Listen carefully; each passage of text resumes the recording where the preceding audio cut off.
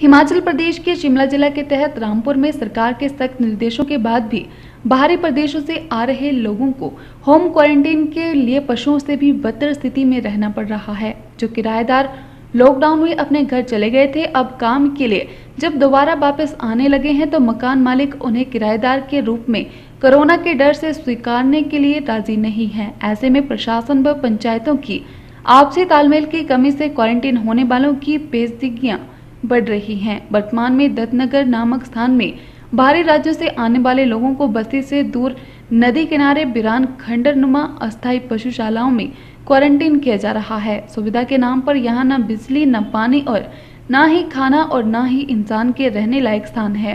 Quarantine किए गए लोग राम भरोसे दिन काटने पर मजबूर हैं। ऐसा भी नहीं है कि ये कोई पहला मामला हो। इससे पहले भी बाहर से आने वालों को यहीं क्वारंटीन किया जाता रहा है। इन खंडरों में बकायदा स्वास्थ्य विभाग की ओर से होम क्वारंटीन का बोर्ड भी दरवाजे पर चिपका दिया जाता है। अपनों से संवाद करना हो तो मोबाइल चार्ज व्यवस्था न होने से संपर्क नहीं होता। ऐसे में होम क्वारंटीन के नाम पर लोग काला पानी, बाली सजा भुगतने पर मजबूर हैं। क्वारंटीन किए गए लोग चाहते हैं कि उन्होंने तो जैसे तैसे समय निकाला, भविष्य में ऐसी स्थिति किसी और को न देखनी पड़े।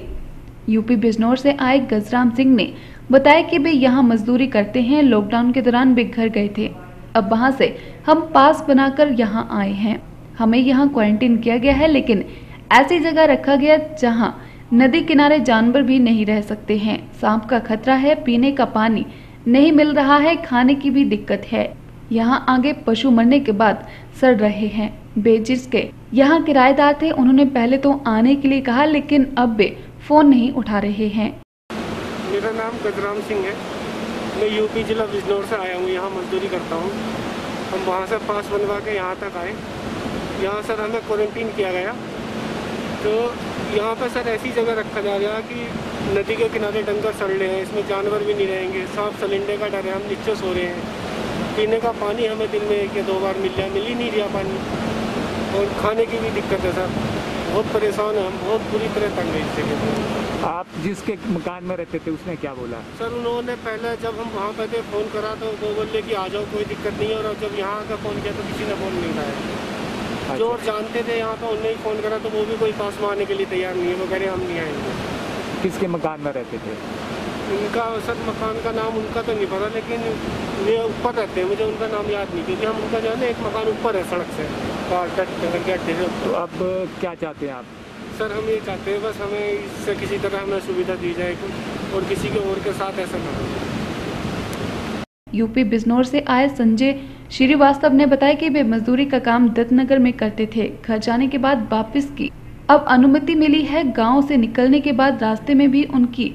सारे नियमानुसार जाँच हुई और जब ये रामपुर आए तो उन्होंने पुलिस से संपर्क किया तो यहाँ भेजा गया। वे सात तारीख को यहाँ पहुँचे रात को सड़क में खड़े थे तो किसी ने हमें यहाँ ठहरा दिया।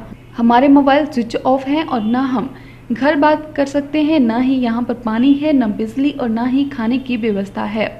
मेरा नाम संजय श्रीवास्तव। हाँ जी। सनो श्री सतीश चंद श्रीवास्तव। हाँ जी। रामपुर डिस्ट्रिक्ट बिजनौर का रहने वाला यूपी का रहने वाला हूँ सर। सर यहाँ काम करते थे मजदूरी का।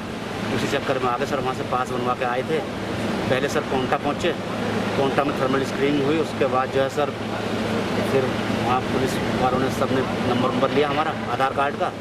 उसके बाद उन्होंने कहा कि ठीक है रामपुर जब जाओगे तो हमने बताया उन्हें एड्रेस पूरा दिया। सही एड्रेस अपना ना? हाँ जी। यहाँ का और उसका।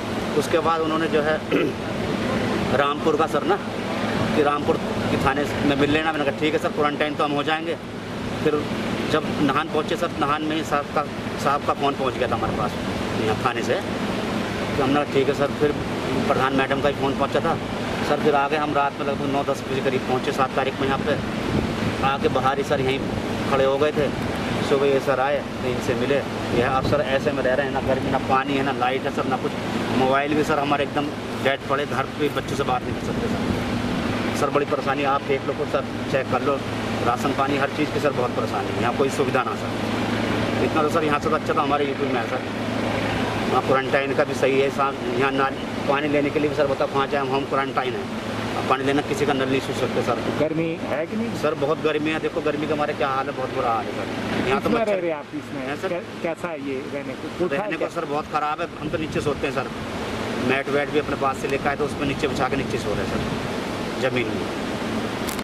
अजय कुमार बिजनौर से आए व्यक्ति ने बताया कि वे दो दिन से भूखे थे। दो रोज बाद रात को 11 बजे खाना बनाए। किसी ने उन्हें खाने के लिए राशन दिया। बहुत दिक्कत हो रही है। न लाइट है न बिजली है। रात को नींद नहीं आ रही है।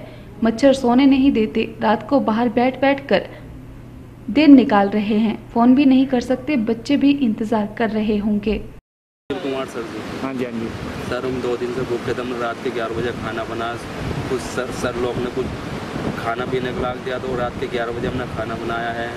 तो कर क्या करें क्या कैसी जगह हम पड़े हैं बताओ सर जी। क्या खाना कहाँ बनाया? यहाँ सर चूल्हे बनाया। तो आपको दिक्कत हो रही है? हाँ सर जी बहुत दिक्कत हो रही है। लाइट के बंदोबस्त नहीं है कुछ नहीं है। रात को नींद भी नहीं आ रही सर जी मच्छर पहुँच रहे हैं इधर उधर। कहाँ बैठ बैठ के हम गुजारा कर रहे हैं? बाहर बैठ बैठ के रात को हमें नींद नहीं आ रही सर जी। न बिजली का बंदोबस्त है नहीं कुछ है इधर। सर जी फ़ोन भी नहीं कर सकते। बच्चे भी इंतज़ार कर रहे होंगे, तीन चार दिन से फ़ोन नहीं आया, क्या बात है, क्या नहीं। अब पानी के सर, कोई बंदोबस्त नहीं है। क्या करें, सर जी मजबूर फिर बाहर निकलना पड़ता क्या करें, जब आदमी प्यासा मर जाएगा, फिर तो यहाँ पे। दत्तनगर निवासी मोहन सिंह ने बताया कि सामने जो खंडरनुमा पशुशाला है, यहाँ पर बाहर से आने वाले लोगों को क्वारंटीन किया जा रहा है। सरकार की ओर से होम क्वारंटीन का बोर्ड लगाया जाता है। उसके बाद उनके खाने पीने रहने के लिए कोई नहीं पूछता है। हाल ही में रखे गए लोगों को उन्होंने स्वयं खाने पीने की यथा सामर्थ्य व्यवस्था कर रहे हैं। पहले भी ऐसी ही स्थिति थी। मेरा नाम मोहन सिंह मैं यहाँ का ग्राम स्थायी निवासी हूँ। तो ये आपके सामने है, ये गौशालाएँ बनी हैं, जिसमें भैंसें छोटे छोटे डंगर रखे जाते हैं। तो यहाँ की स्थिति बहुत ही खराब है। तो प्रशासन को देखते हुए, प्रशासन ने सब कुछ देखा कि यहाँ की क्या स्थिति है? इनको यहाँ पर रखा गया ये बाहर से आए हैं। तो ये तो हमारे प्रधान जी, इन्होंने इनको थोड़ा सा कॉपरेट किया है और हम लोग आए, इनको अंदर रखा। जैसे प्रशासन को बोला तो ये क्या नाम है, हिम हेल्थ केयर वाले आए इनने बोर्ड लगा दिया। इसके बाद ये नहीं देखा कि इन लोगों को खाना, पीना, पानी की व्यवस्था कौन करे। इतनी स्थिति नाजुक है यहाँ की। प्रशासन को ये देख लेना चाहिए, यहाँ आके देख लेना चाहिए कि क्या करें इनका। ये बेचारे यूपी से यहाँ पहुँचे, कैसे आए, हम नहीं जानते इनके इससे पहले भी यहाँ पर रखे तीन आदमी। उनका भी यही हाल हुआ। यहाँ ये चौथी बार हो रहा है, ऐसा। प्रशासन नहीं आता, कुछ नहीं देखता यहाँ की बुरी हालात है। दत्तनगर पंचायत की वार्ड सदस्य पूनम ठाकुर ने बताया कि यहाँ पर कुछ मजदूर रखे हैं। उनकी सरकार की ओर से कोई व्यवस्था नहीं है। स्वास्थ्य विभाग वाले आए और उन्होंने क्वारंटीन का बोर्ड चिपका दिया। अब किसी ने ये नहीं देखा कि उनका चौदह दिन का राशन पानी व्यवस्था कैसे हो? क्या खाएँगे, क्या करेंगे? अब ये ज़िम्मेदारी किसकी है? प्रशासन से अनुरोध है कि इस ओर भी ध्यान दे। ये रहने लायक स्थान नहीं है। इससे पहले भी यहाँ इसी तरह आदमी रखे गए थे। मैं यहाँ वार्ड नंबर चार की मेंबर हूँ, ग्राम पंचायत रत्नगर में। तो मेरा प्रशासन से अनुरोध है कि ये जो भी इधर रखे हुए हैं, बंदे जैसे रख देते हैं, इनको आए, वो बेचारे अब कहाँ से गरीब लोग हैं? इनका कोई वो नहीं कर रहा है। ना इनको राशन पानी है ना इनको पानी का प्रबंध है, कुछ भी नहीं है। बस यहाँ रख दिए और हेल्थ वाले आके पोस्टर लगा के चले गए। अब इनको कोई पूछने वाला नहीं है। तो ये फिर किसके जिम्मेवारी बनती है ये? पंचायत लेवल पे हम क्या कर सकते हैं? अब ये कोई रखने की जगह तो है नहीं। आप देखो खुद क्या हाल है यहाँ पे। तो तहसीलदार रामपुर विपिन ठाकुर ने बताया कि राज्य सरकार द्वारा पहले भी निर्देश जारी किए गए हैं। उनके अनुसार सभी पंचायत प्रधानों को निर्देश है कि जो भी बाहर से व्यक्ति होम क्वारंटाइन के लिए आएगा, उसकी व्यवस्था पंचायत को करनी होगी। सुविधाओं का भी ध्यान रखना होगा। पंचायत की जिम्मेवारी होगी होम क्वारंटाइन के जो दिशा निर्देश हैं, उनका अनुपालन हो। इसके बाद भी कोई आवश्यकता हो तो वे लिखित रूप से एसडीएम ऑफ़िस में अपना पक्ष रख सकते हैं। उन्होंने कहा कि दत्तनगर का मामला उनके ध्यान में आया है और जाँच की जाएगी।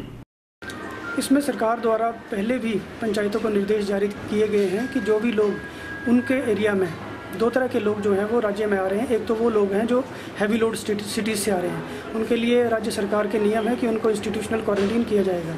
उसके लिए रामपुर प्रशासन ने पेड में रतन रिजेंसी और अनपेड में जो है वो एस जी कोटला में प्रबंध किया गया है। उसमें जो है हमारे लोग उनकी सुविधाओं का ध्यान रख रहे हैं। उसके अलावा जिनको शोकी बैरियर से होम क्वारंटीन के ऑर्डर दिए जाते हैं, उनकी जो जिम्मेवारी है वो पंचायत स्तर पर, पंचायत प्रधानों की है कि उनकी जो मूलभूत सुविधाएँ हैं या उनके लिए टॉयलेट की व्यवस्था है, खाने की व्यवस्था है, वो जो है पंचायत अपने लेवल पे करे। फिर भी अगर किसी पंचायत को इस तरह की कोई प्रॉब्लम आती है तो उसको लिखित में एस कार्यालय में सूचित करना चाहिए ताकि प्रशासन उसका सहयोग कर सके।